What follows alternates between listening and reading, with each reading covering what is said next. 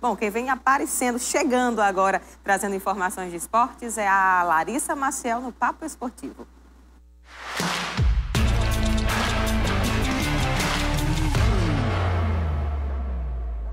Durante a pandemia, alguns esportes perderam adeptos temporariamente. Em contrapartida, algumas pessoas resolveram começar em algumas modalidades, como é o caso do Kung Fu aqui em Mossoró. Quem nos conta essa informação é um dos mais experientes da cidade, Heriberto, Professor e também atleta muito experiente que compete em outras competições aqui da região e também da região Nordeste e Brasil, nos conta que teve que aumentar o número de aulas e também de mais espaço durante a semana para poder abrigar todos os novos possíveis atletas da nossa cidade. O Kung Fu, junto com as outras artes marciais, abre um leque de possibilidades. Quem quiser competir, tudo bem. Quem não quiser, pelo menos se adapta a um novo estilo de vida. Nessa pandemia, então, muita gente buscou algo para se apegar. E você, já escolheu algum esporte que pode ser mais a sua cara?